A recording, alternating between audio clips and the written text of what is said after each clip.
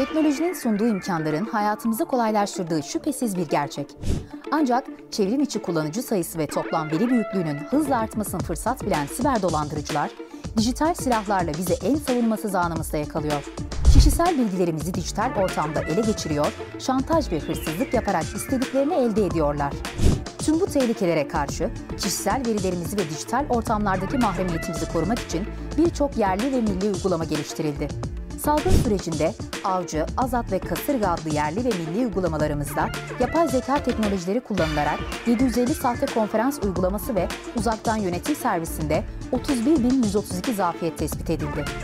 Alınan önlemler ve geliştirilen uygulamalarla 2021 yılının ilk 10 ayında 60.795 siber saldırı engellendi. Ocak 2017, Ekim 2021 tarihleri arasında engellenen siber saldırı sayısı ise 502.386'ya ulaştı. 2013'ten bu yana 900'ün üzerinde siber olaylara müdahale ekibi kuruldu. Saldırıların ağırlıklı olarak oltalama ve spam olarak gerçekleştiği belirlendi.